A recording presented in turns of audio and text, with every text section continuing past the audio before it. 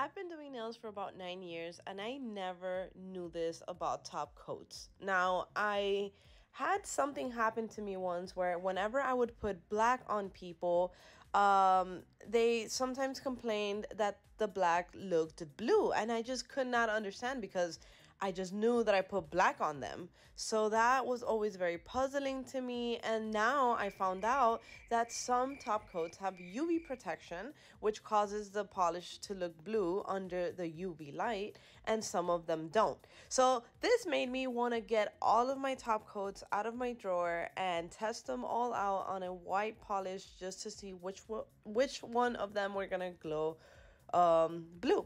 So let's take a look. I have a, Apres top coat, I have the Kupa top coat, and I have an American Creator top coat and a Valentino top coat. So I'm putting all of them in these tips and we're gonna dry them and see what's gonna happen next. Usually you can just see it as soon as you go inside the light with your hand. You'll see that it glows blue under the light and that means that the top coat has a UV protect protection but it was really hard to record so i'm going to show you guys with my handheld uv light and let's see which one has uv protection and which one doesn't.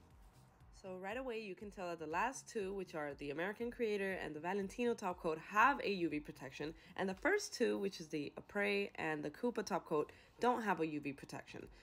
Here you can see them a bit closer and they really glow blue. That's so interesting. I can't believe that i never noticed this so what are the UV top coats even good for? From what I understand, they are meant for light colors and whites so that they don't yellow due to overexposure of UV um, let's say that you work outdoors, that you're outside a lot, you go to the pool, you go to the beach, and your polish is getting yellow, this is due to overexposure of UV, and you need to be using a UV top coat, which means it has UV protection. So you might want to ask your nail tech if she has this or if she's even aware, he or she, if they are even aware that this exists because it, like I said, I had them with me, but I had no idea that there was a difference. Now I want to test them out on a black nail polish to see how they cure and to see how it looks under the lamp.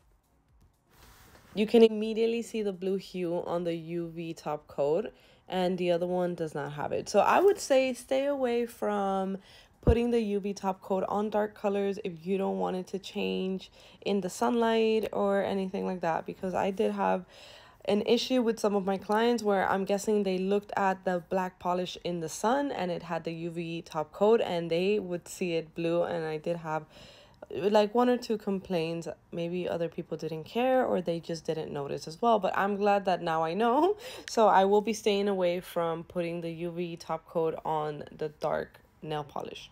Thanks for watching. Like and subscribe for more videos. Bye